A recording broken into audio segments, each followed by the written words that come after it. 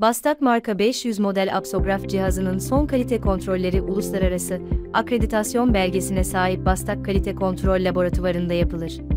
Bastak marka 500 model apsograf cihazı düz ve sağlam bir zemine yerleştirilir. Cihaz 220 volt 50 Hz topraklı şebeke voltajında kullanılır. Cihazın kurulacağı laboratuvarın topraklaması ölçülür. Topraklama değeri küçük eşit 5 ohm olmalıdır. Şayet değil ise yeniden topraklama hattı çektirilir. Cihaz, cihazın kullanımını bilen operatör haricinde kişiler tarafından kullanılmamalıdır. Cihaz üzerinde veya yakınlarında yanıcı ve yakıcı madde bulundurulmamalıdır. Yetkisiz kişiler ve firmaların cihaza müdahale etmesine müsaade edilmemelidir. Herhangi bir sorunla karşılaşıldığında Bastak Teknik Servis ile iletişime geçilmelidir. LCD dokunmatik ekran, cihazın tüm fonksiyonlarını yerine getiren üzerinde tuşların olduğu 15,6 inç LCD dokunmatik ekrandır. Yoğurma ünitesi, analiz yapılacak un numunesinin ve yoğurma bıçaklarının bulunduğu test yapılmasını sağlayan haznedir. Yoğurma bıçakları, analizi yapılacak un numunesinin yoğrulmasını sağlayan özel tasarıma sahip karıştırma bıçaklarıdır.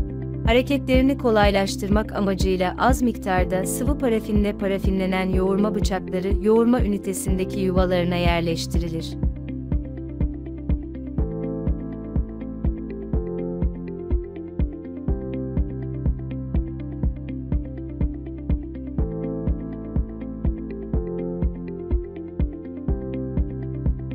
Yoğurma ünitesi haznesi kapağı.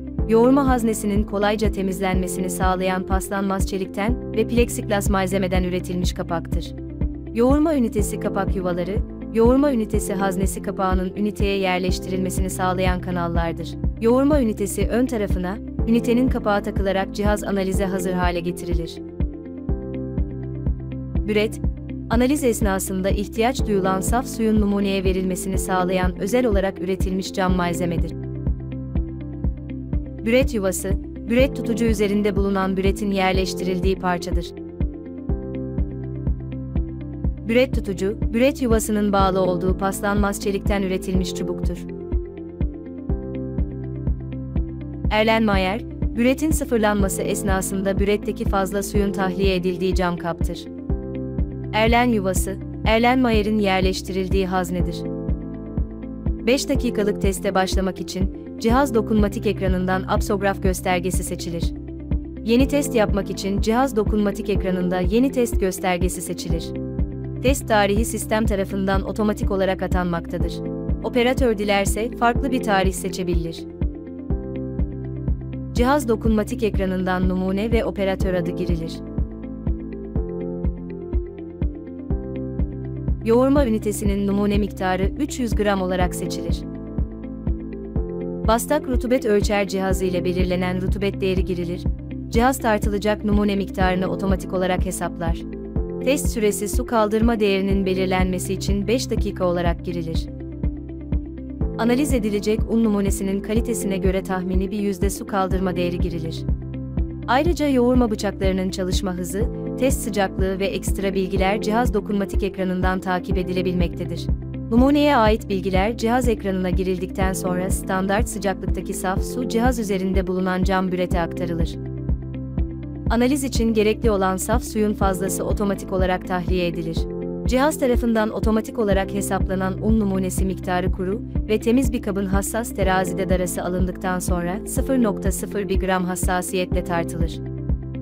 Cihaz dokunmatik ekranında testi başlatmak için testi başlat göstergesine basılır cihazın motoru çalışmaya başlar. Yaklaşık 10 saniye sonra cihazın dokunmatik ekranında un ekleyin uyarısı görülür. Yoğurma ünitesinin üst tarafında bulunan plexiglas kapağı dikkatli ve hassas bir şekilde açılır. Cihaz tarafından otomatik olarak hesaplanan un miktarı yoğurma ünitesi numune haznesine boşaltılır. Yoğurma ünitesinin plexiglas kapağı dikkatli ve hassas bir şekilde kapatılır. Cihaz dokunmatik ekranında OK seçeneğine basılır. Un numunesinin homojenizasyonu için yoğurma bıçakları yaklaşık olarak 45 saniye boyunca numuneyi karıştırır. Bu sürenin sonunda cihazın dokunmatik ekranında lütfen su ekleyiniz uyarısı görülür. Daha önce bürete aktarılan 30 derecedeki saf su yoğurma ünitesinin plexiglas kapağı üzerinde bulunan boşluktan yoğurma haznesindeki un numunesi üzerine aktarılır. Sonrasında cihazın dokunmatik ekranındaki lütfen su ekleyiniz yazısı ortadan kalkarak grafik oluşturulmaya başlanır. Test süresi toplam 5 dakikadır. Cihaz standart kur ve değeri olan 500 AU değerine ulaşmak zorundadır. Bu değere ulaşıldıktan sonra kalan test süresi boyunca da grafik çizmeye devam eder. Test tamamlandığında cihaz dokunmatik ekranında test tamamlandı uyarısı görülmektedir. Sonuçlar göstergesi seçilerek analizi gerçekleştirilen numunenin analiz sonucu dokunmatik ekranda görülür. Analiz sonucu PDF olarak cihaz hafızasına kaydedilebilir. Aynı zamanda bilgisayara aktarılabilir ve çıktı alınabilir. Cihazın yoğurma ünitesi ön tarafında bulunan kapağı ve yoğurma bıçakları çıkartılır. Yoğurma haznesi ve yoğurma bıçakları ıslak bir sünger yardımıyla temizlenir ve bez ile silinerek kurutulur. Hareketlerini kolaylaştırmak amacıyla az miktarda sıvı parafinle parafinlenen yoğurma bıçakları yoğurma ünitesindeki yuvalarına yerleştirilir.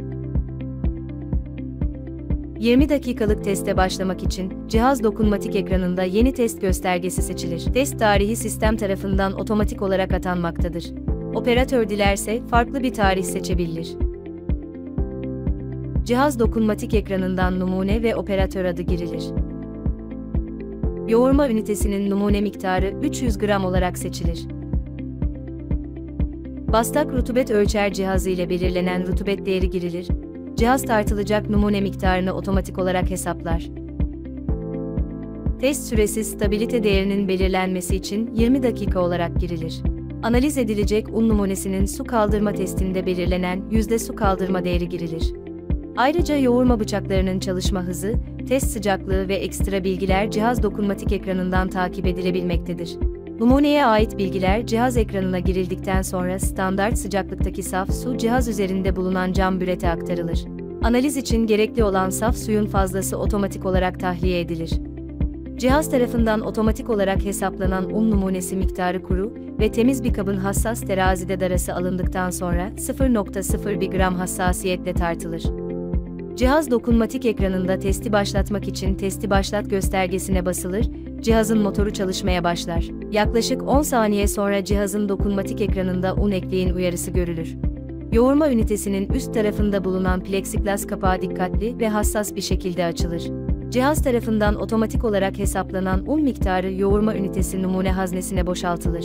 Yoğurma ünitesinin plexiglas kapağı dikkatli ve hassas bir şekilde kapatılır.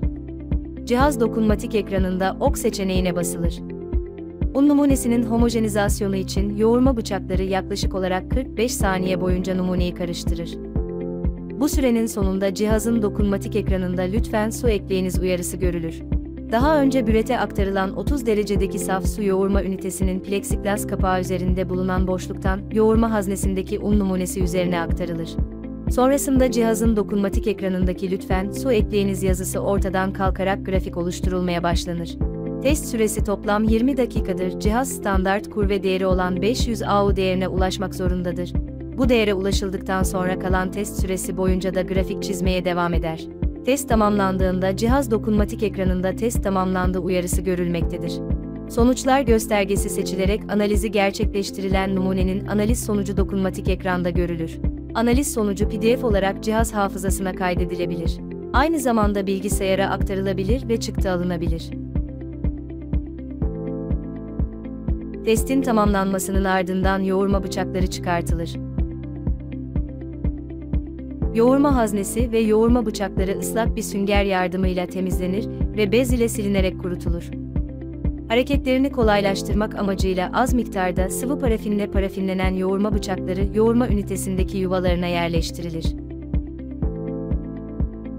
Yoğurma ünitesi ön tarafına, ünitenin kapağı takılarak cihaz analize hazır hale getirilir.